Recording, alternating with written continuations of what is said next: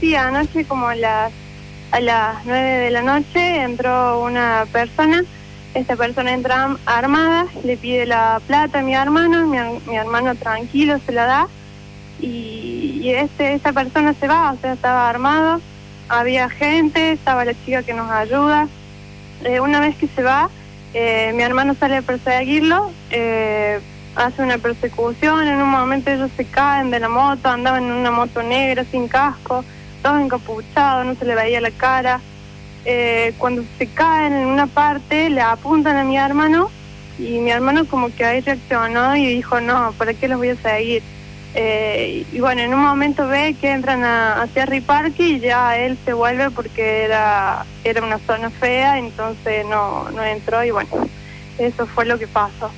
Eh, Débora eh, lo siguió en, en el auto desde aquí, desde el negocio hasta la entrada de Sierras y Parques. Sí, sí, lo siguió porque se fueron de acá a derecho, digamos, se fueron por los lotes. Eh, y él lo siguió en el auto de él.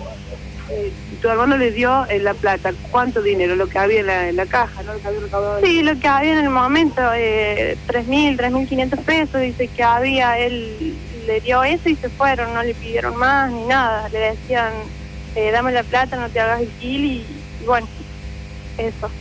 ¿Es la primera vez que le sucede aquí en el autoservicio? Sí, es la primera vez, es la primera vez. No, obviamente que esto los preocupa teniendo en cuenta que también ha habido otros hechos en la, en la zona, ¿no? Sí, te preocupa y bueno, nosotros acá estamos de lunes a lunes trabajando todo el día abierto y estamos hasta las diez y media de la noche y te da miedo. Es angustiante, ¿no? Bueno, ahora van a tomar alguna otra medida de seguridad. Quedó registrado en las cámaras que tienen aquí en el comercio este hecho, ¿no? Sí, queda registrado en la cámara, pero la cámara lo filma de atrás, eh, está todo encapuchado, igual de frente, eh, andaba con la cara tapada, lo único que se le veían eran los ojos, así que no se le puede ver ¿Puedo, todo. ¿Puedo hablar con Débora?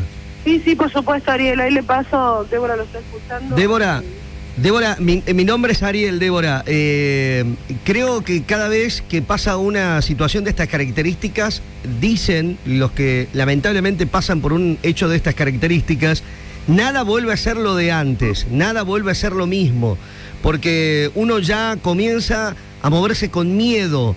Eh, sentí recién cuando, cuando hablabas del horario de cierre del negocio, que capaz que con mucho sacrificio lo hacen ustedes para ver si hacen unos manguitos más, si llegan a vender un poco más, brindando un servicio diferencial, hasta las 22 horas, se te quebró la voz, porque a medida que uno entra en la noche, después de esta experiencia, te da como cierto temor. Y sí, la verdad es que es horrible porque ya vivís con miedo. ¿Mm? Eh, yo que soy mujer, eh, capaz que tenga más miedo que mi hermano, pero no sé cómo, cómo, cómo hacer. Nosotros hace tres años que estamos acá y Mm. tenemos abierto hasta las diez y media. Pero ya vivís con miedo, o sea, yo voy a estar con miedo. Cada Mm. persona que entre voy a estar pendiente. El miedo significa también no sentirse seguro por quienes te tienen que garantizar la seguridad, que en este caso es la policía, pasa por allí la policía y patrullajes, te han dado una voz de aliento como para saber de que no te va a volver a pasar, te sentís de ahora en más como de alguna forma contenida, no sé si protegida, porque evidentemente no, por la policía, pero eh, cuando hicieron la denuncia, eh, eh, eh, les prometieron más presencia, vos ves a la policía cerca del negocio. Sí, la policía pasa seguido por acá, siempre Mm. andan. Eh, la denuncia fue hacerla a mi hermano, así Mm. que no sé muy bien lo que le han dicho. Eh, pero no sé, estas personas se manejan así, por ahí a la policía se le va de las manos, ellos Claro. tampoco pueden hacer nada, no sé. ¿Ustedes viven también en el negocio? ¿Tienen el negocio contiguo a la casa o es un negocio aparte y ustedes viven en otro lado? No, nosotros vivimos en otro lado. Viven en otro lado. Así que el, el- el ritmo de, de- de vida de ustedes, la forma de trabajo, ¿va a cambiar? ¿Van a tomar algún otro tipo de medida, eh, Débora, para evitar un nuevo robo de estas características? Eh, no creo, no, Mm. no, vamos a seguir igual, con miedo, Mm, totalmente con miedo ahora. mm.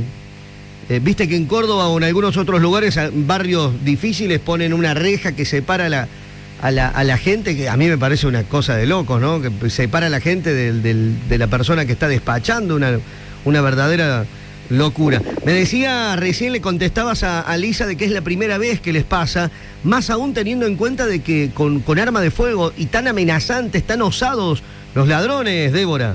Sí, sí, es la primera vez que nos Mm. pasan y, y bueno, qué sé yo, no sé. Eh, ¿Saben, eh, tenés niños? ¿Tienen niños ustedes?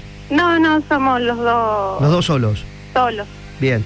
Débora, eh, ojalá que esto cambie, se modifique. Es, es difícil, no quiero ser pájaro de mal agüero, pero la situación hace que eh, nosotros, los laburantes, como vos, como yo y como otros, que están escuchando la radio, veamos de qué forma trabajamos más para ganar más. Pero también están los otros que ante esta si- situación de crisis salen a robar más que antes. Eso es realmente increíble, ¿no?